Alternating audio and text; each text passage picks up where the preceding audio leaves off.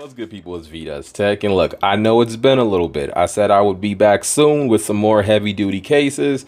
Look, it takes a little bit of time to get these in. So Tongate hit me up and asked if I wanted to check out their cases, and like I said, people asked for cases that was a little bit more heavy-duty. Now, me personally, I am not the biggest fan for bulky cases. I don't like adding a whole lot of bulk to my phone, so I had to live with this case for a few days. I haven't wore a heavy duty case in like four years. But I've been rocking with this one for the last three days. And look, even though it does add quite a not a little lot is a little lot oh word even though it does add quite a bit of bulk it's not the worst i think i could definitely get by with that now something i haven't seen with cases before look at everything you get in the box so first up you get I'm not even gonna lie. So with the clip, with the belt holster clip, look, I'm not gonna lie. I haven't touched this. I'm not using it. I haven't rocked a holster clip since back with the baggy t-shirts back in 2010 don't need to go back to the club days but look you couldn't tell me i wasn't the man used to get one of these clip it onto the belt have the big white tee over it yo you couldn't tell me nothing but you do get the holster clip if that's something you need you also get a front with a screen protector now, I have not seen this before. I think that's kind of cool. Now, I'm not going to use it because I have someone in mind that I can give this to that can benefit from this case. So not going to use a screen protector, but basically all you have to do is peel off this piece. So you're going to have one to give your screen a wipe down, peel off this piece, and then underneath that, do not touch this. This is the actual screen protector part itself, but you'll peel off this layer. Underneath here, this sticker, you'll peel this off as well. But like I said, I won't be using it. You'll just slide your phone in, just like that. Make sure everything is in place. And then you would get this part. From the top down, you would want to just move it into place. And basically, just make sure that the rubber outside is covering basically the whole phone. And just like that you have full protection. Now you are getting a camera lens cover so your camera is recessed in there so you don't have to worry about it being dropped or anything like that.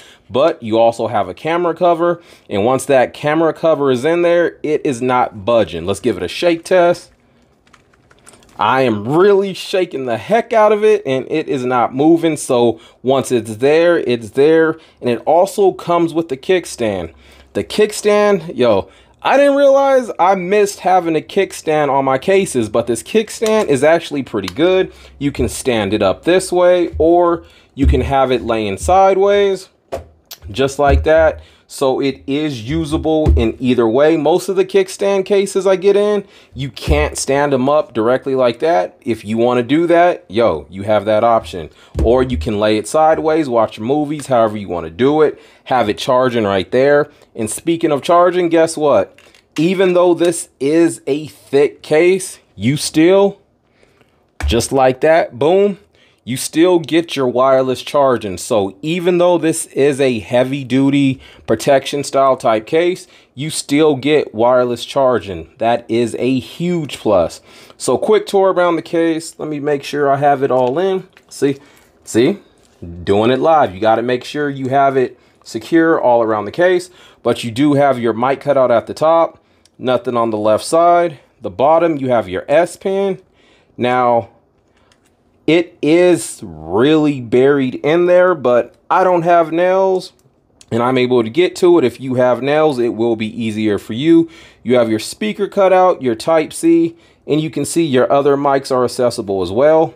On the right side, nothing else. You do have your power button. Now the power button isn't the most tactile.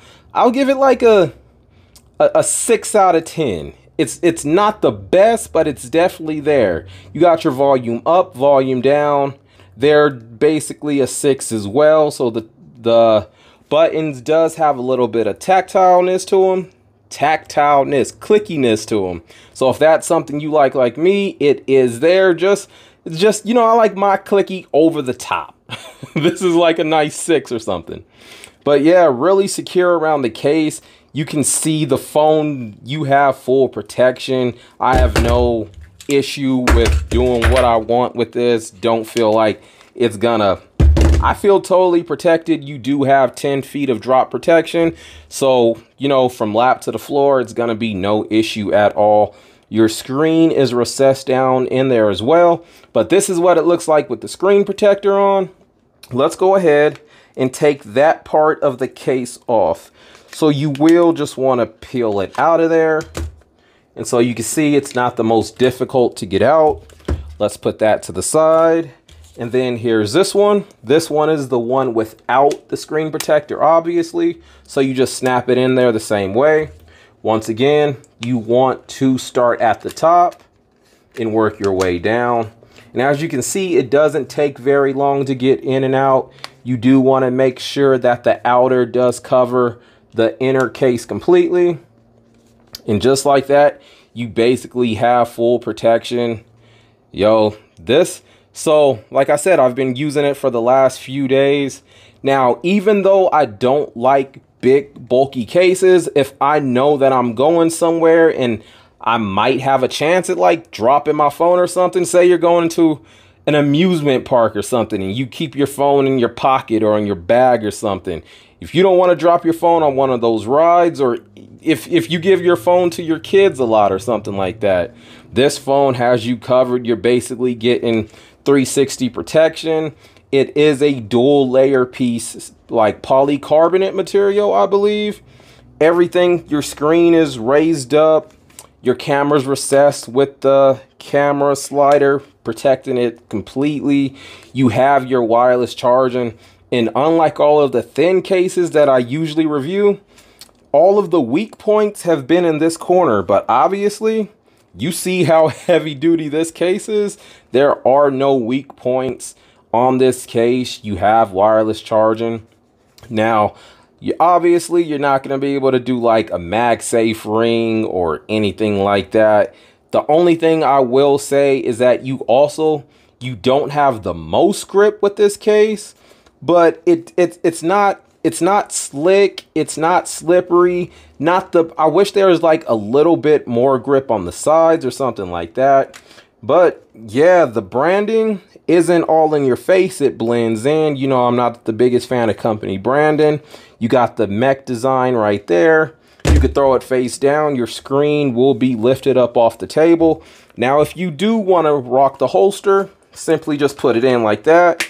And boom, you can see you got the clip right there. You can put it on your belt, on your backpack if you want to get your phone out. Simply press this down pull your phone out just like that. Yo, you get everything in the box. This is basically giving you full protection.